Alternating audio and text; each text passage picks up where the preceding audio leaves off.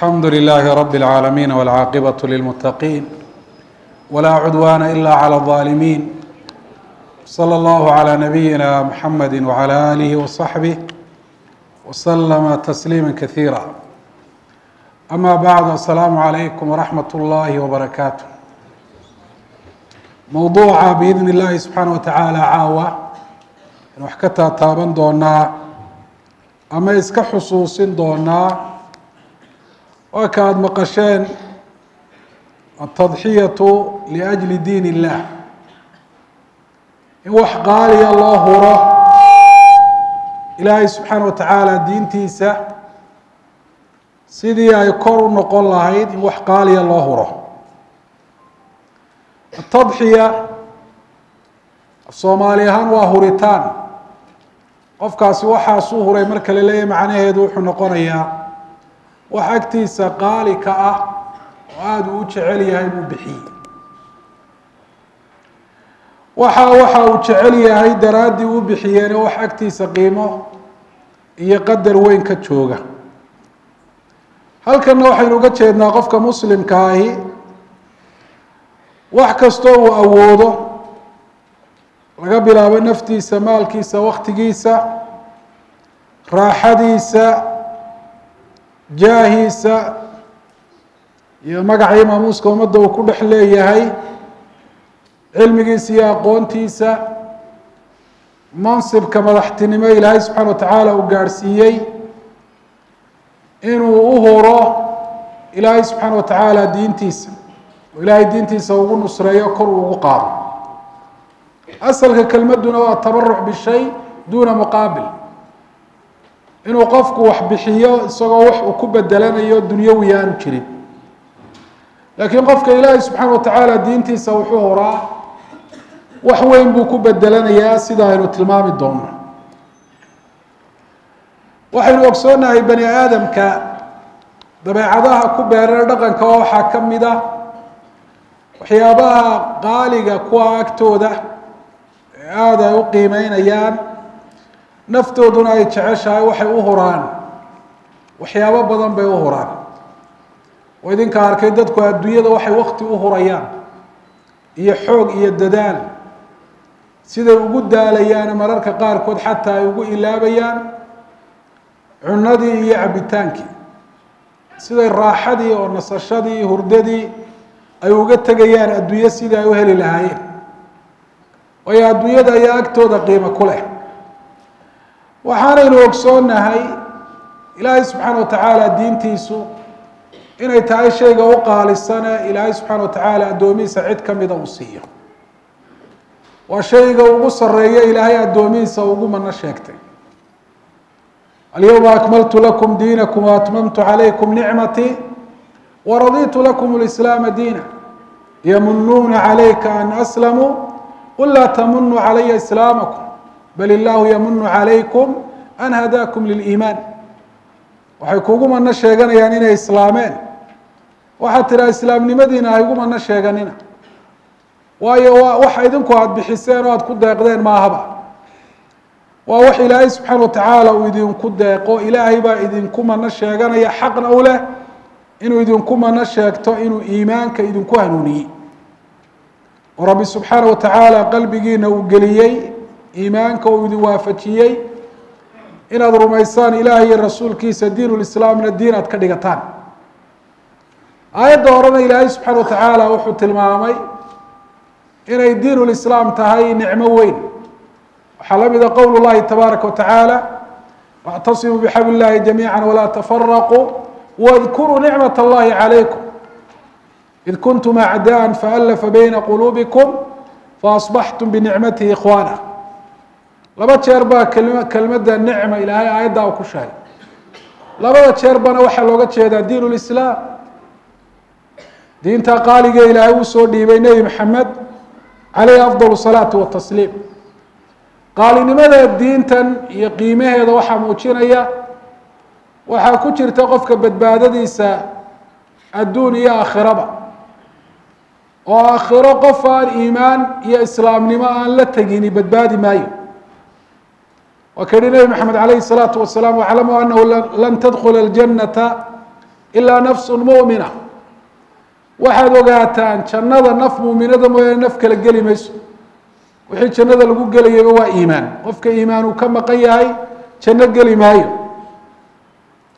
نار لوحة كبت بعد هي ومركو وقو يريه كوارتان كذا كبت بعد هي haddii islaamnimadiisa iyo iimaankiisu u dhammaystirmana gelisteedaba ka badbaadaya. Qofka aakhiro la taga ilaahay lagu horgeeyo islaamnimo iyo iimaan. Adduunyada inta la joogo lafteeda qofka sharaftiisa iyo qiimihiisu waxa uu ku xidhan yahay islaamnimadiisa. Ilaahay baa subxaana wa tacaala dadka ugu nicmeeyey diin lislaam ku sharfay oo ku maamuusay. Waa ka ilaahay sheegay munaafiqiintu inay yidhaahdeen yaquuluuna lain rajacna ilى اlmadinati layukrijana alcazu minha aladal. Waxay odhanayaan haddaanu madiine ku noqonno kuwa cizada iyo sharafta leh ayaa kuwa dullaysane hooseeya ka saari doona. Waa go'aan adagoo aanu gaadhnay. Ilaahay subxaana wa tacaala muxuu ugu jawaabay walilahi اlcizaةu walirasuulihi walilmu'miniin walaakina almunaafiqiina laa yaclamuun cizada iyagu wax kale u haystaan in lagu helo reernimo in lagu helo maal in lagu helo madaxtinimo iyo mansib in lagu helo beero iyo guryo cizada taa laguma helo cizada awalan ilaahay baa iska leh cidda cizaysanina waa cidda ilaahay cize iyo sharaf uu yeelay uu siiyey intuu ilaahay ka siiyey ayuun baanay ka haystaan. Ilaahay subxaana wa tacaala wuxuu yihi cizada waxaa le rasuulka. Rasuulku qof buu ahaa dadkaa ka mida muxuu cizada iyo sharafta ku helay waxyigaa ilaahay uu ku soo dejiyey bilqur'aani wasunna oo qofkii u horeeye rumeeye uu noqday. Haddana uu dhabarka u ritay isagoo amarka ilaahay u hogaansamaya inuu dadka gaadhsiiyo almu'minuuna baa cizada iskale iyo sharafta. Oo cid walba si kastoo xaaladoodu ay tahay qofka muslimkaahi isagaa ka sareeya qofkaan muslimka ahayn. Afanajcalu lmuslimiina kalmujrimiin? Maa lakum kayfa taxkumuun ma sinmi karaan iska dhaaf qofka muslimka inuu hooseeye sida saxaabada qaarkood ay yidhaahdeen alislaamu yacluu walaa yuclaa caleyh islaamku mar walba isagaa sareeya lagamana sareeyo ilaahay subxaana wa tacaala muslimiinta muxuu ku cizeeyey bihada diin ayay cizada ku heleen. Waxaana xaqiiqada noocaasa gartay saxaabatu rasuuli illah sida alxaakim uu ku wariyey fi lmustadrak cumar ibnu khadaab radia allahu canhu maruu ku sii socday baytulmaqdis si furayaasheeda uu ugala wareego nimankii nasaarada ahaa kiristaanka ahaa ee markaa haystay waxaa dhacday inuu soo maray isagoo oo lugeynaya meel biyo dhooqa ahi ay marayaan. Kadibna kabihiisii intuu la baxay oo midba gacan uu gashaday ayuu lugihiisii ku dhex maray. Waxaanuu xidhnaa cumar ibnu khadaab radia allahu canhu maryaha ay xidhaan dadka caadiga ah. Oo umuu arkaa in cumar isagoo amiirkii muuminiinta ah inay sharaftiisu ku jirta iyo cizadiisu inuu xidho wax ka duwan waxa ay xidhaan dadkaa u talinaya ama uu cuno waxa ay cunaan wax ka duwan oo ka sareeyo oo ka wanaagsan. Cumar wuxuu cizadiiyo sharafta u arkayay inuu ku toosnaado diinta ilaahay u soo dejiyey waxa uu ku yihi abu طalxa radia allahu canhu wafdi baynu nahay oo dad baynu ku soconnahay haddii dharkan aad karkaran midaana inaad xidhan lahayd baa ila fiicnaan lahayd. Qaala cumaru radia allahu canhu tilka almaqaala dahabiya cumar wuxuu ugu jawaabay odhaahda dahabiga ah. Waxau uhi radia allahu canhu naxnu kuna qowma adila faacazana allahu bihada اdiin annagu waxaanu ahayn qowm dullaysan. Ilaahay subxaana wa tacaala diintan buu nagu cizeeyey oo nagu sharfay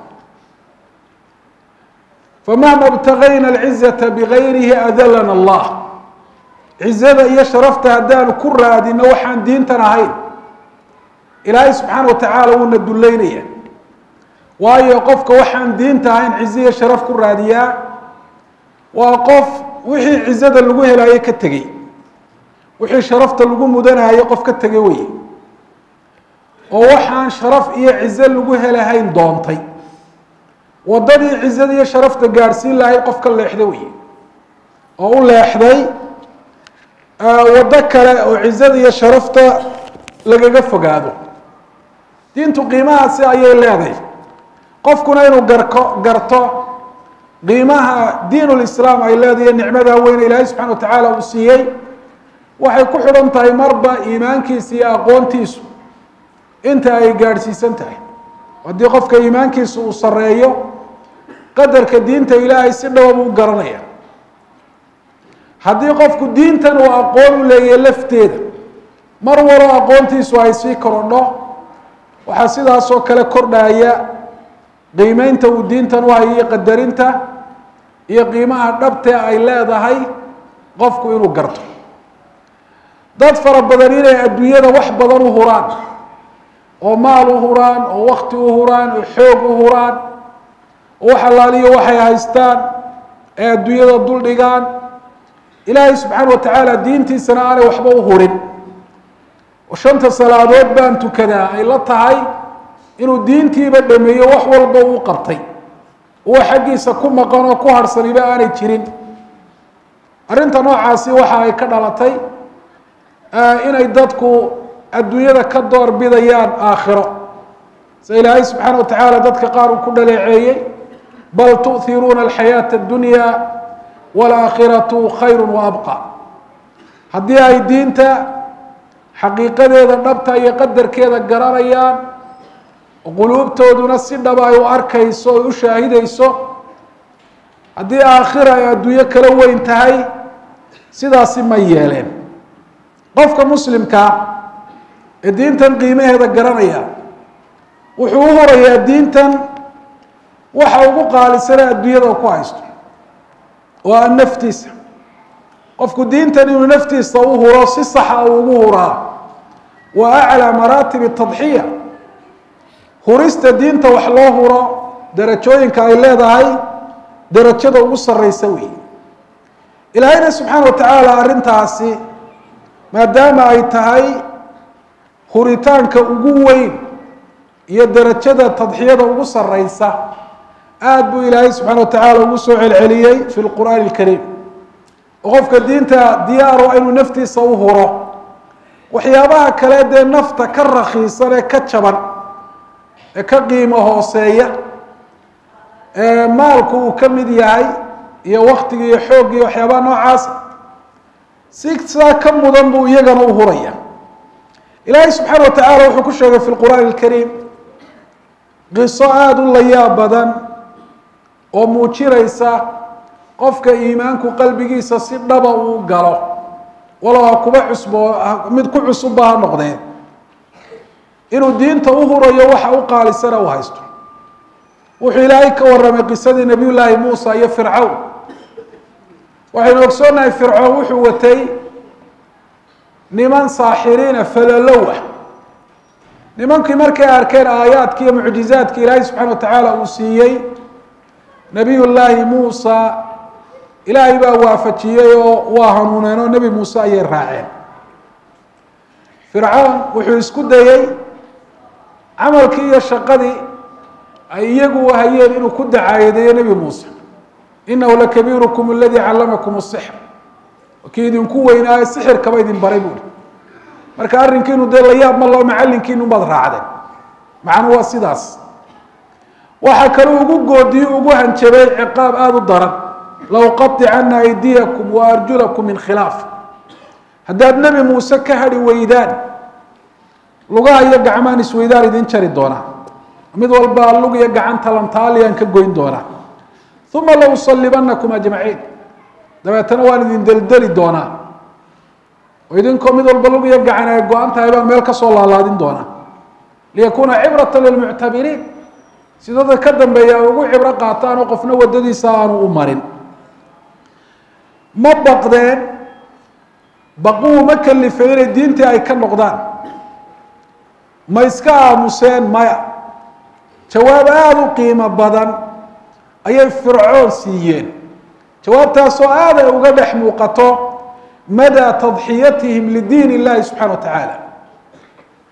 Huritaanka ay diyaar u ahayn waxa u qaalisan ilaahay diintiisa inay u huraan heerka u gaadhsiisnaa qaluu lan nu'hiraka calى ma jaءana min albayinaat wاladii faطranaa faqdi ma anta qaad waxay dhaha adiga kaa doorbidi mayno aayadaha cadcada ilaahay nebi muuse noogu soo dhiibay suurtagal maa inaan adiga ku raacnaanu khilaafnaanu ka tagno allah subxaana wa tacaala na abuuray waxaad samaynaysa samee inamaa taqdi hadi alxayaat اdunya adigu waxaad wax ka qaban kartaa ad waxooga dhaqdhaqaaqi kartaa de waa maalmahan adduunyada la joogo. Inaa aamanaa birabbina liyakfira lana khataayaana waxay tilmaameen go'aanka adag inuu ka dhashay iimaanka. Go'aanka adag inuu ka dhashay waxa weyne ilaahay ay ka sugayaan. Oo ilaahay subxaana wa tacaala dembi dhaaf. Wamaa akrahtana caleyh min asixr inay ilaahay ka rajaynayaan sixirkii uu ku khasbi jiray ee gaalnimada ahaa inuu ilaahay subxaana wa tacaala u dhaafo. Arrinta noocaasi waxay muujinaysaa sida ay ugu hureen ilaahay subxaana wa tacaala diintiisa naftoodii siday ugu hureen. Taasina waxa waata keentay inuu ilaahay subxaana wa tacaala an yukhallid allahu dikrahum inuu ilaahay waariyo xuskooda iyo sheegistooda وآياتها القرآن كا إلى يوم القيامة الآخرين أيوه إلهي سبحانه وتعالى إنه كجوارمه وكرسول كان عليه الصلاة والسلام ركي الصحابة قال كل يوصوا عودين. أي لادين ألا تستوصر لنا ألا تدعو لنا ألا ترى ما ما بنا. رسول كي لهم يانا دي لاي نسر نوو الدينين ميانا دي لاي نوو بريهاي ميانا دار كاين حالة دا عدقان وكسو قرنا وإنتي مكلة شوي رسولك عليه الصلاة والسلام si uu xoogeeyo sabirkooda uu uguna laabqaboojiyo u dejiyo wuxuu uga waramay dadkii muuminiinta ee ka horreeyey waxay la kulmi jireen. In ninka muuminkaa la keeni jiro la odhan jiray diintan ka noqo hadduu ka noqon waayo. In miishaar madaxa laga saari jiray oo lagu jeexi jiray sida loox ilaa laba qabcadood qofkii bani aadamkaa u kala dhaco maa yasuduhu dalika aw maa yaruduhu dalika can diini. Qofka in qofkii isaga ka horreeyey sidaa lagu sameeyey. Kamay celinahayn diintiisa oo inuu dib u gaaloobo diinta uu ka noqdo. Sabab uma noqon ahayn. Iyaduu arkayo qofkii ka horreeyey waxa lagu sameeyey buu naftiisa u huraayey. Ilaahay diintiisa oo xaaladda adag uu ugu barheerhayey ilaahay subxaana wa tacaala diintiisa jacaylka uu qabo awgii nabigeeni maxamed calayhi salaatu wasalaam tusaalahaasoo quramaya tusaalayaal badan ayuu bixiyey. Saxaabadii rasuulka casharadaasi uu akhriyey iyaga laftooduna arrinta noocaasa may ahayn arrin ay yidhaahdeen waanu rumaynay uun. Bal noloshooda xaalado noocaasi markii ay soo mareen ay soo martay waxa ay sameeyeen tusaalayaal cadcad oo muujinaya sidii ay diyaar ugu ahaayeen inay naftooda diinta u huraan. Saxaabigii la odhan jiray cabdullaahi ibnu xudaafa wuxuu ka mid ahaa ciidan muslimiinta ka mida oo ay maxaabiis ahaan u qabsadeen qolo gaalo ah. Waxaa dhacday markaa ninkii gaalka ahaa ama boqorka ah ee gaalada u talinayay in loo geeyey. Waxaa ninkaasi uu ku yidhi diintan aad haysato ka noqon. Ka noqon maayo buuhi wuxuu ihi laba arrimood baan ku siinayaa diinta ka bax waxaan ku siinayaa nisfa mulki. Madaxtinimadeyda laba marka loo qaybiyo meel baan adiga ku siinaya. Inantaydana waan kuu guurinaya. Ka noqon maayo buuhi wuxuu ihi inantaydana waan kuu guurinayaa. Mulkiga madaxtinimadana adaan kaaga tanaasulaya aan kugu wareejinaya. Ka bax diinta. Ka bixi maayo buuhi ciidamadiisi qaar ka miduu u diro wuxuu uhi ninkaa gacmaha iyo lugaha iyo meelaha ka toogta laakiin meel haliso uu u dhinto ha ku dhufanina. Waayo wuxuu doonayaa imtixaanka inuu ku sii wado. Iyadoo la toogtay baa loo keenay oo dhaawacyo ay ku yaaliin wuxuu ku uhi ka noqon diintan haddii kale waa lagu dilaya ka noqon maayo. Waxaa saliid baa aada loo kululeeyey markay islaba rogtay baa maxaabiistii muslimiinta qaar ka mida lagu tuuray. Lafihii oo qura ayaa soo hadhay cabdullaahi ibnu xudaafana waa arkaya. Sidaasaa lagugu samaynayaa baa lagu uhi haddii kale ka noqon diinta ka noqon maayo buuhi diinteyda waan haysanaya markii u dambeysay wuxuu u soo gaadhay ninkii boqorka ahaa madaxa iga dhunko.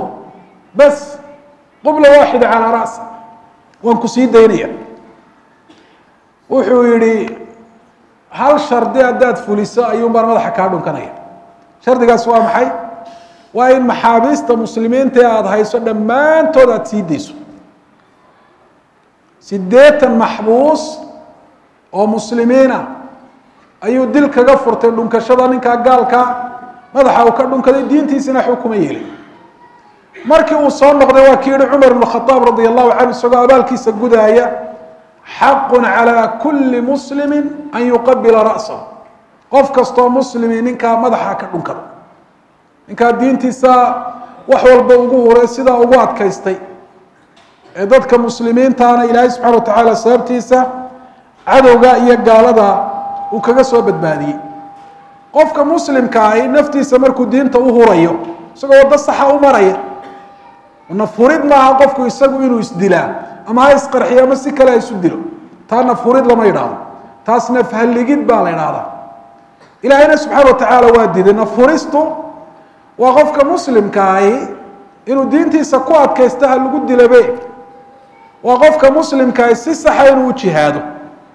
Oo cadowga gacantooda gacantiisa dabeetana uu ku dhinto oo uu ku shahiido. Qofka muslimka inuu sidaa yeelo naftoo qaaliya uu huro waxaa sababaya wuxuu og yahay markuu sidaa yeelo naftiisa inuu ka iibinayo ilaahay subxana watacaala in allaha ishtara min almuuminiina anfusahum wa amwaalahum biana lahum ljanna waxa ilaahayna furista uu sabab uga dhigayaa waa dukhuulu ljanna oo qofku jannada inuu galo. Qofku mar hadduu jannada galona naartiina ka badbaad. Naciim la helana waa kii u sareeyey inuu qofku naar ka badbaado janno uu galo faman zuxzixa can الnaari waudkila اljanata faqad faaz adduunyadao dhan haddii la garab dhigo wax allaalo waxay macno leedahay ma jirto oo taasi ay ka goyn kartaa marka qofka muslimkaa iimaanka uu rumaysan yahay warka ilaahay aayadda iyo kuwa lamidka uu ku sheegay ayaa sababaya inuu naftiisa oo agtiisa aada qaali uga ah ilaahay subxaana wa tacaala diintiisa u huro ilaahay waa ka in badan muslimiinta ku dhiirigeliyey إن أي إله الدين تيسوون الصريان وكرة وقعدات نفتو ده إيه مال كود ولا بضع الشيء بني آدم كأكتو ده وقال الصن يا أيها الذين آمنوا هل أدلكم على تجارة تنجيكم من عذاب أليم تؤمنون بالله ورسوله وتجاهدون في سبيل الله بأموالكم وأنفسكم ذلك خير لكم ذلكم خير لكم ذلك ذلك ذلكم خير لكم ilaahay subxaana watacaala wuxuu yihi muminiinay maydin tusiyaa? Hal adulkum calaa tijaara?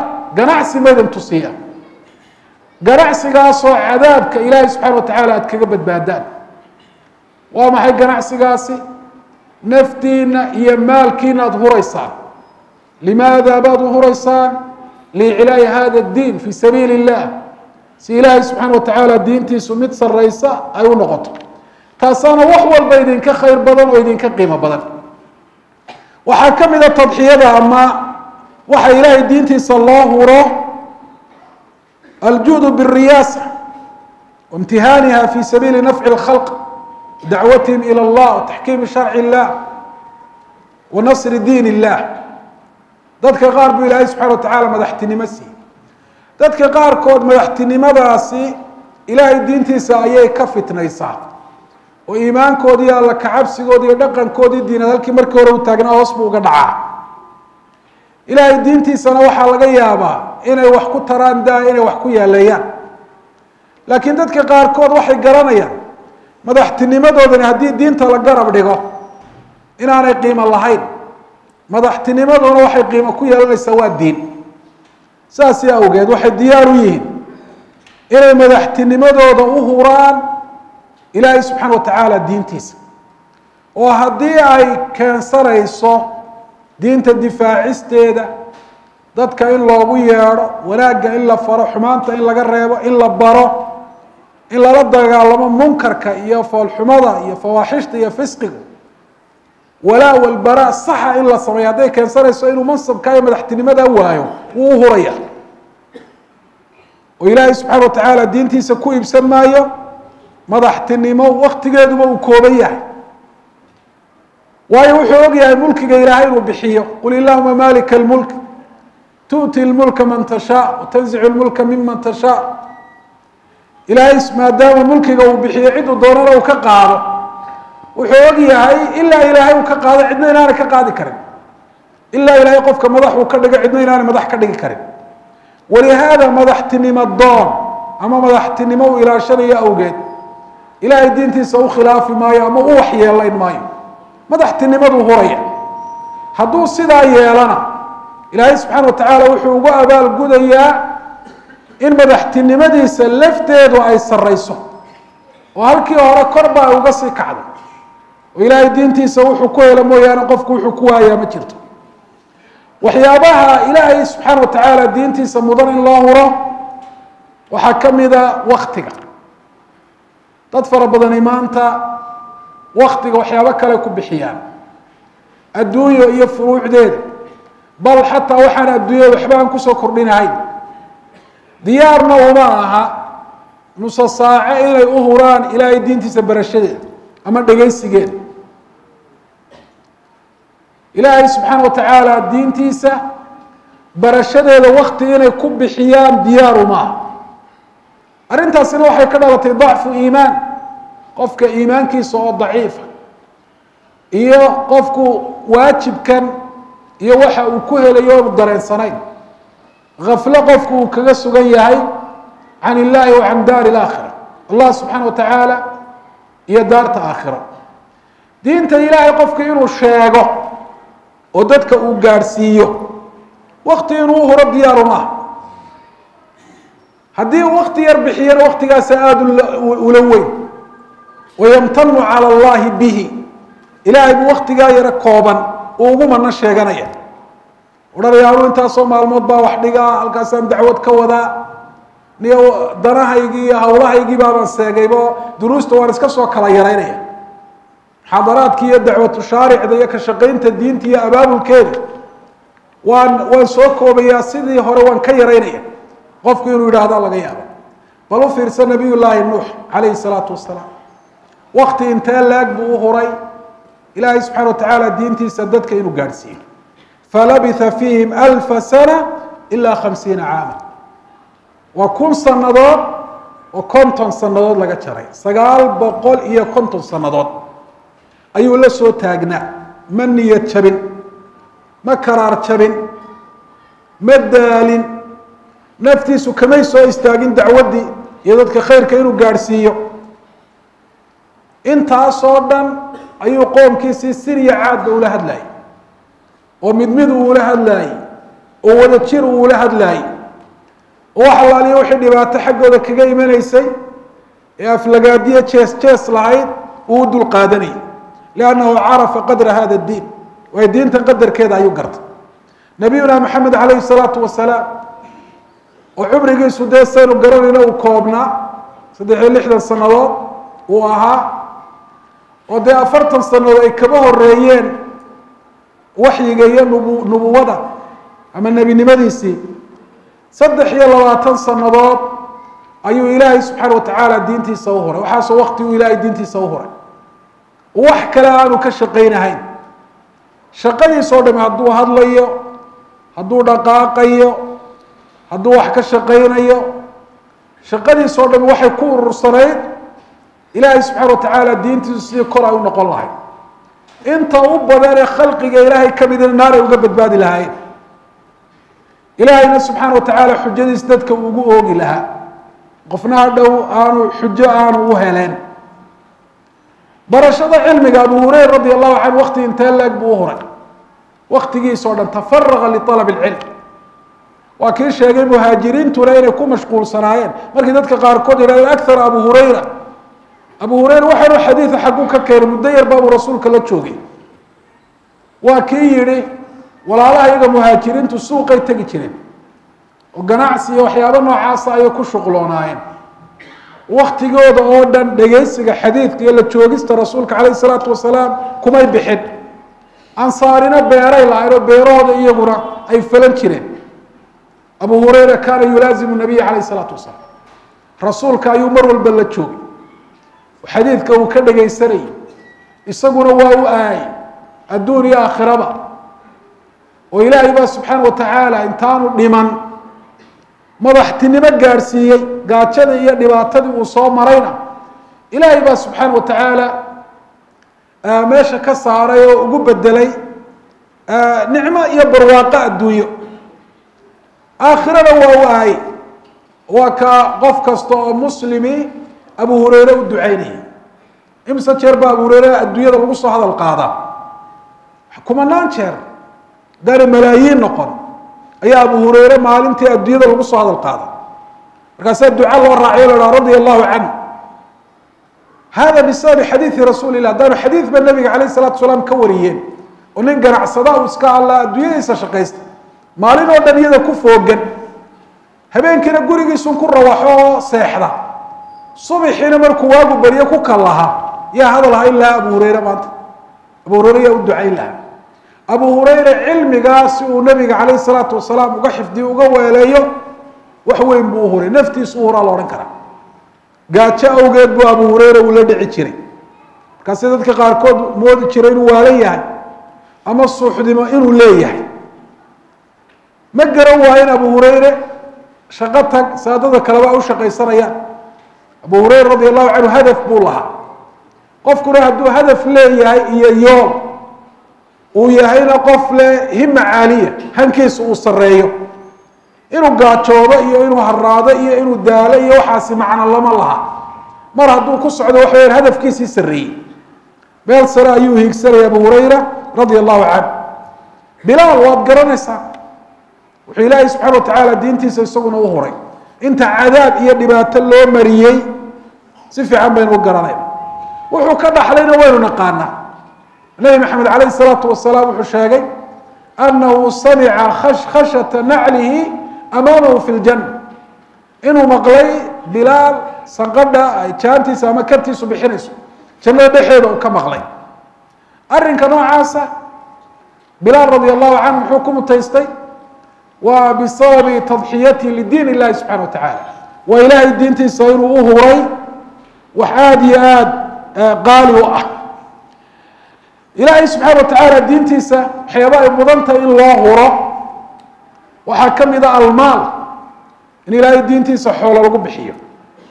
Maalku sidiisaba kiisa xalaashae si xalaala loo isticmaalaa. Waa laba midkoodu midaan raasamaal lahayn ee intifaaca maalinkaa lagu intifaacay un ku eg.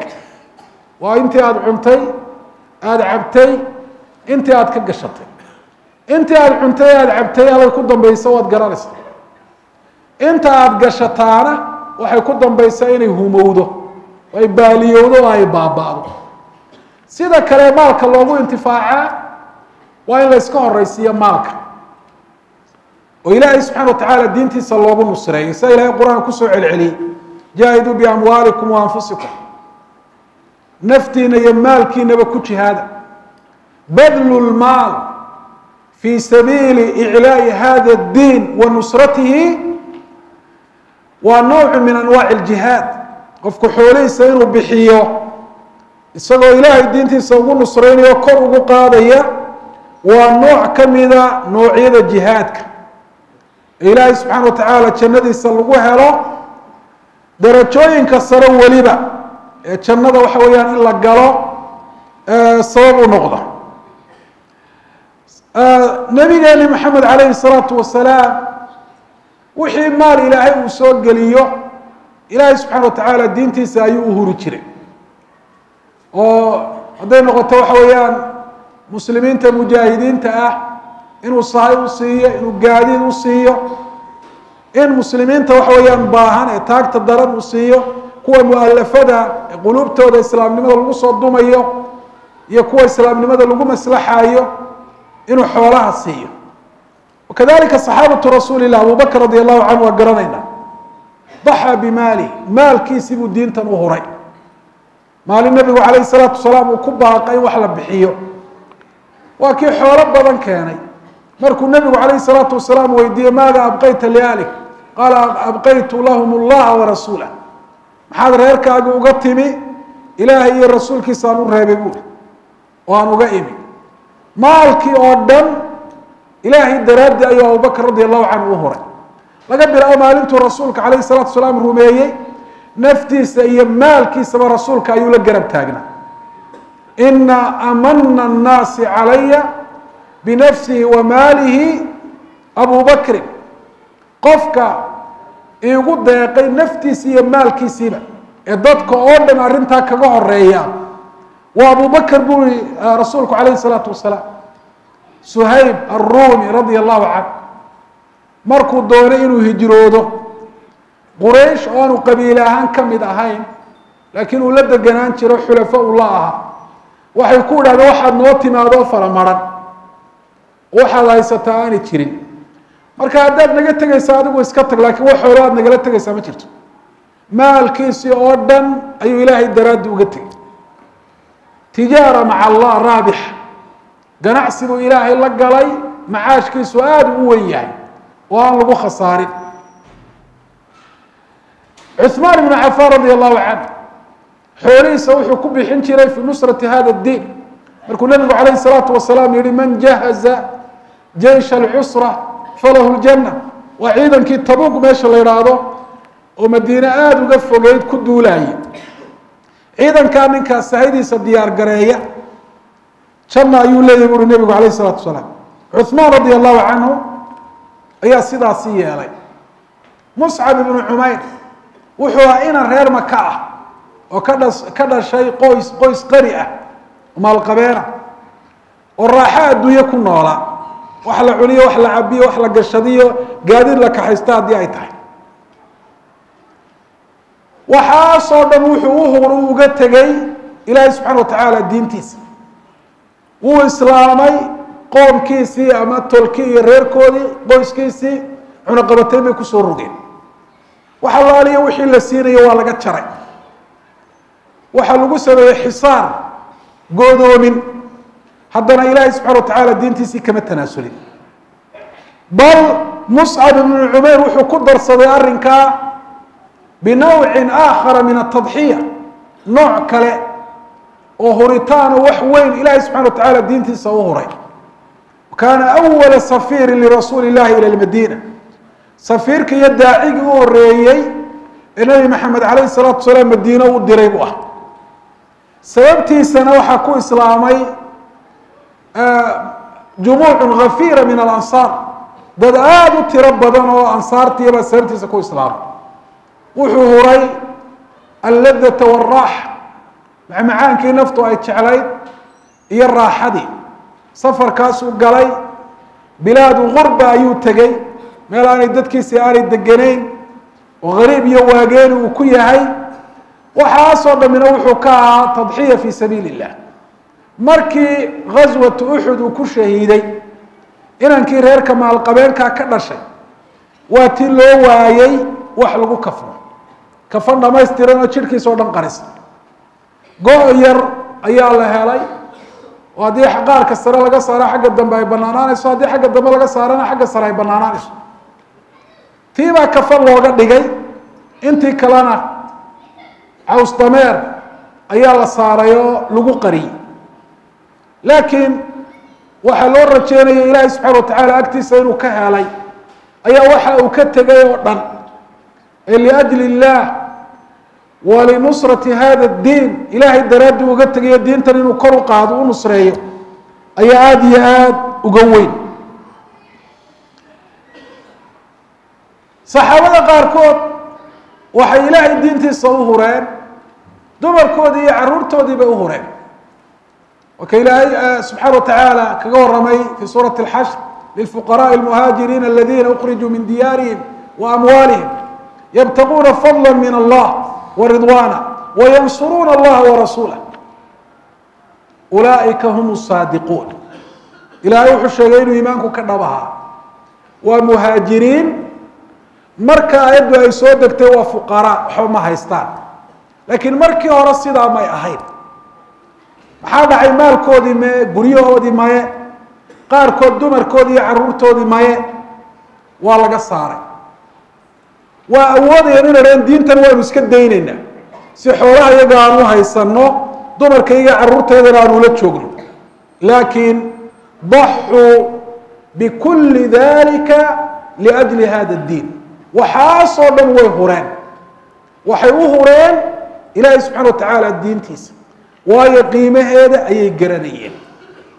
Saxaabada waxaa ka mid ahaa abu salama radia allahu canh sida umu salama ay ka warantay markuu doonay inuu hijroodo ee uu soo diyaariyey awrkii uu saari lahaa xaaskiisa iyo ilmihiisa ee uu doonay inuu baxo. Qoyskii gabadhu ay ka dhalatay ayaa kala hadhay xaaskiisi ilmihii yaraana waa la isku qabsado waa la kala jiitay isagana laga reeb kelidii isagoo ayuu halkaa ka baxay. Ilaahay subxaana wa tacaala diintiisa qiimaheeda ayuu garanayay. Inay ka qiimo badan tahay alahla walwalad ilmaha iyo xaaska iyo maalka iyo waxba inay ka qiimo badan tahay. Walihaada baa ilaahay wuxuu dhaleeceeyey cala alcagsi min dalik qofka maalkiisa iyo awlaadiisa iyo ehelkiisu iyo ilaahay subxana wa tacaala diintiisa ay ka mashquuliyaan barashadeedii ku dhaqankeedii baristeedii iyo faafinteedii ya ayuha aladiina aamanuu laa tulhikum amwaalukum waawlaadukum can dikri illah waman yafcal dalika faulaa'ika hum lkhaasiruun ilaahay wuxuu ihi muuminiinay awlaadiina iyo dumarkiinu iyo xoolihiinu ilaahay diintiisa yaan idin seejin oona idinka mashquulin. Cidda sidaa yeesha ha isma tidhaahdo waxbaad macaashtay oo maal baad heshay oo carruur baad haysataay oo dumar baad haysataaye dhab ahaan waa khasaare. Waayo khasaaraha dhabta waa khasaaraha qofka diinta kaga dhaca wey. Khasaaraha weyni alkhasaaratu alcudma waa khasaaraha qofka aakhiro waxa weeyaan ku dhaca. Waa ka ilaahay mar kalena muuminiinta uga digay dumarkooda iyo iyo ubadkooda. Ya ayuha aladiina aamanuu ina min azwaajikum waawlaadikum caduwa lakum faxdaruun dumarkiina iyo carruurtiina waxaa kamida kuwa cadow idiina see cadow idinku yihiin keef qofka ilaahay diintiisa kaa fadhiisiiya kaa jeediya inaad khilaafto sabab kuugu noqda cadow buu ku yihi waayo wuxuu kugu wada sabab uu kuugu noqonayaa waa ilaahay subxaana wa tacaala cadaabkiisa iyo cadhadiisa inamaa amwaalukum awlaadukum fitna mar kale ilahay wuxuu yihi awlaadiina iyo maalkiinu waa fitno. Yaani waa wax sabab u noqon kara qofku ilaahay subxana wa tacaala diintiisa inuu seego ama uu shaqaynteedii iyo in wax qaaliya uu huro inuu waxa weeyaan ka gaabiyo.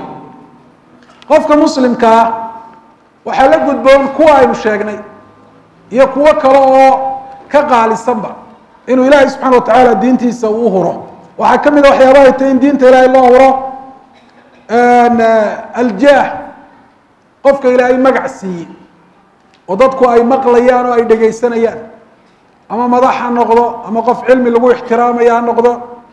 Ama qof odaytinimo iyo waayeel waayeelnimo lagu ixtiraamayo lagu qadarinayo ha noqdo.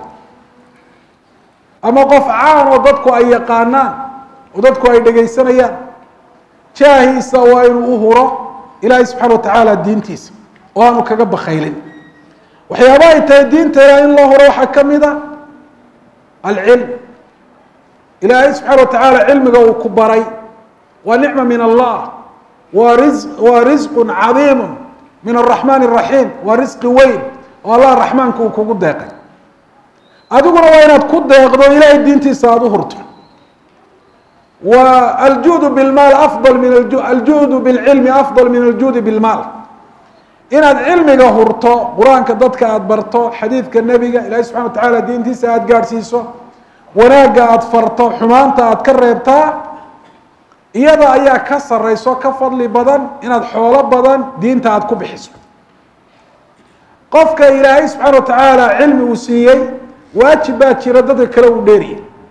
Ama waajib cayniya ha noqdo isaga gooni u saaran ama mid kifaa'i ah ugu yaraan la rabo in ku filan ummadda ka midii inay ku qumto waajibkaasi waa maxay? Waa tabliiqu hada alcilm. Oo qofku cilmigaa dadka inuu gaadhsiiyo. Haddii uu qofku cilmigii barto oo cilmigii aanu dadka gaadhsiin waajib ilaahay subxaana wa tacaala uu saaray ayuu dayacay. Nicmadaa weyne ilaahay uu siiyeyna shukrigeedii sidii ay ahayd uma aanu gudin lamana odhan karo qofku cilmigii uu ku camal falay isagoo dadka aan waxba uga sheegin. Lianna min alcamali bilcilmi tabliiquhu linnaas wa tacliimuhum iyaah cilmiga ku camalfalkiisa waxaa ka mida dadka in la gaadhsiiyo dadka in la baro oo jahliga lagaga suuliyo. Lianna hada mima amara allahu bihi cibaada. In dadka cilmiga la gaadhsiiyo waxyaabaha ilaahay subxaana wa tacaala addoomihiisa uu faray mid ka mida wey maanta in fara badan oo dalabatulcilmi ah midba derajo uu cilmiga barashadiisa ka gaadhay ayaa magaaladeennan buuxa inta dacwadda ka wada ama mushaaraka kulli iyo ka qayb qaadasho. Aada iyo aad ba u yari markii dadku intan ay ka yaraayeen ayaa juhdigu ama ha noqdo dadka oo diinta la baro loo dhigo ama ha noqdo gaadhsiin dadka wanaagga in la faro xumaanta laga reebo dacwatu shaaric masaajidada in lagala hadlo meelo kale in lagala hadlo markii hore ayay ka badnaan jirtay. Waxaad moodaa maanta inuu jiro iqbaal cala addunya wa nukuulun ilayha. In adduunyadii aada loo qaabilay oo dadkii adduunyadii waxa weeyaan ay u iisheen waxaa dhici karta xaafadeenan masaajidkan uu ku yaalo ayaanu habeen dhaweyd isweydiinay guddida dacwadda iyo masaajidka walaynu dersigaa ku qoraa kelmadda ayaynu ku qoraa. Markaasaa waxay wa doondoon bay nagu noqotay inaanu doondoono waxaa rag dalabatulcilmiga masaajidkan wax ka dhigan jiray ama hadda joogana waad garanaysaa. Cilmigii waa la hayaa raggii waa joogaan laakiin waxa maqani waa maxay? Waa atadxiya qofka waktigiisii oo dhan buuxiyey. Ee ku buuxiyey shaqo adduunyo ee dacwaddii waxba aanu reebin. Qofkaasi wuxuu ilaahay subxana wa tacaala diintiisii u huray ma jirto. Rag fara badan waxaa la odhan karaa dee majaalkan ay ku jiraan baaba dacwad ah. Waxbay dhigayaan gelin hore iyo gelin dambe iyo habeen intaba. Haddii niyad fiican ay raacdo ikhlaas ah oo laga reebo niyada ah shaqo tag iyo kasbasho maal la kasbado لا شك أن تاس دعوتها الكوائن نيادة نوع عسية لفتيرة الرعد وقف كي آه كيان نقول مجرد معلم. أو نقول معلم داعية.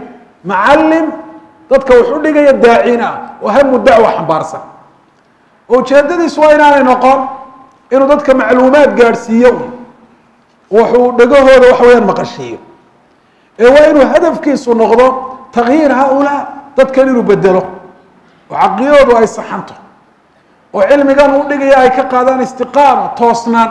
Ilaahay diintiisa ay ku toosnaadaan. Iyo iyaga laftoodu inay noqdaan kuwo fariimaha qaaliga xagga ilaahay ka yimi xambaara oo dadka waxa weeyaan gaadhsiiya. Lakiin hadduu hamigiisu noqdo ama salaada ha tukado ama yaanu tukane inan kan lagu keeno aduu qur'aanka u mari kana dhegayso hada laysa bidaaciya.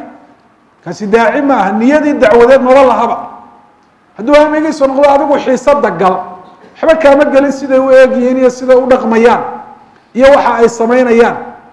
Waad shaqaysanaysaa qolada meesha liyabay mas'uuliyaddaasi u taallaa aduu shaqadaada gudo afartanka daqiiqo xiisada ku jir wixii muqararkii lagu yihi udhigna udhig xagga iyo xaggaana toona uga bixi.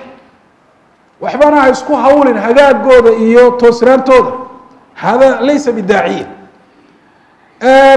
waxaa kaloo taa raacinaya xataa ninka mucalimka ee haddana daaciga ah maaha inay dacwaddiisu ku ururto qura maxadka ama madarasada waxuu ka dhigaayo waayo ummadda inta maxad ama madaraso tagta iyo inta kale haddii la isgarab dhigo waynu garanaynaa inta badan bal wax la isgarab dhigi kara maba ahaba oo oo la tira koobi karaa dadka goobo waxbarasho oo gaar ahaan diiniya taga boqolkiiba hal xataa ummadda ka noqon maayaan. Ummadda inteedii kale oo dhan haddaad tidhaa anugu halkaas umaan daaci ku ah. Ummadda inteedii kale o dhan yaad uga tagta ummadda inteeda kale wakti waa in loo reebo. Shaarica iyo waddada iyo goobaha ganacsi dhexdooda dadka waa in laga wacdiyo. Waa dacwad aada u xoog badan bay ahaan jirta dadkuna aad ay ugu intifaaci jireen. Xataa haddaanay ku intifaacin maa calayn innaga taa laynooma dirin dadka hanuunkooda innaga laynooma saarin. Inay diinta qaataan ay ku camal falaan waa waajib iyaga saaran. Innaga waajibkayna saaran waa maxay? Waa xusnu tabliiq. Waa si saxa wax saxa inaynu u gaadhsiino. Si saxa wax saxa inaynu u gaadhsiino. In calayka ila albalaaq nebi maxamed baa sidaa lagu laysa calayka hudaa walakin allaha yahdi man yashaa. Hanuunkooda dushaada maaha ilahay baa cidduu doono hanuuniya marka ugu yaraan faral baynu iskaga ridayni ilaahay subxaana watacaala uu ina saaray. Khalqigana xujadaynu ku oogeyni si aan inaga aakhiro laynoo qabsano laynoo dha maxaad u gaadhsiin weydeen? In badanoo dadka ka midina waa ku intifaaci jireen. Maanta waad og tihiin waxa gawaadhi joogta micrifona ay ku rakiban yihiin. Qaar badan meelahaasay iska yaalyaalin micrifoonkooda lagama hadliyaba. Xaflad iyo ogeysiis iyo waxyaabaha in lagu bixiyo mooyaane in kooban ayaa dacwad ku wada waxaanayna soo martay iyadoo gaadhina aanu jirin qalabkan casrigiina aanu jirin oo ambarafayar weyn iyo laba sameecadood oo waaweyn iyo bir xadiid oo culus la ysdaba sido. Oo inta tusaalehaan laga soo qaado xero awr halkan istaanka jabuuti la keeno. Ama inta xero awr laga qaado suuqa hoose loo dhaadhiciyo ragtuurtooda ay ku qaadaan mararka qaarkoodna kaaryoone lagu riixo himadu aad bay markaa u sarraysay diintana waxbaa loo huriyo wakti baa loo huriyo xoog baa loo huray. Oo rag baa mikrofoonada soo iibinayo xarkaa soo iibinayo o hagaajinayo iyagoo waxba aan hayn inta yar ee hayaan. Ilaahay subxana watacaala diintiisa wax uga jaraayay war ilaahay nicmadiisu markay inoo siyaaday. Ee cumrigeenu uu kordhay. Ee cilmigeenu uu siyaaday ee arsaaqda ilaahay subxaana watacaala uu inoo kordhiyo inoo siyaadiyey. Ila raggaa maanta wada shaqaynaya waa raggii shalay ahaa dhalinyarta aan dee reero un ku tirsan. Koob shaa waxay ku cabaan aan hayn. Laga yaaba qaarkood de hooyada odhan jireen shan boqolan koob shaa ku cabo hooyeysi ayaa maanta shaqaysanaya. Waa nicmo ilaahay subxana watacaala uu siiyey. War ilaahay markuu nicmo inoo kordhiyey inaguna waa inaynu shukri kordhino شكر شكرنا روحا كمدا التضحية لهذا الدين. إلهي سبحانه وتعالى الدين تسان روحوه الراء إلى الوقت أوه الراء علم إلى أوه الرا. مال إلى أوه الراء جهد يددال إلى أوه الرا. وكاسا إلهي سبحانه وتعالى نعم كون نسيه إيه الدين يا الدنيا بله. ربي سبحانه وتعالى وينوكر لنيه أرنتنا التضحية لدين الله سبحانه وتعالى. وحي الله موانع waxaa kaloo ay leedahay dawaafic. Taa inaynu isxusuusinaano waa muhiim iyadoonan ku khatimay. Maxaa dadka u diida? Ama qaarkood ilaahay diintiisa inay waxu huraan. Waxyaabaha ugu muhiimsan waxaa ka mida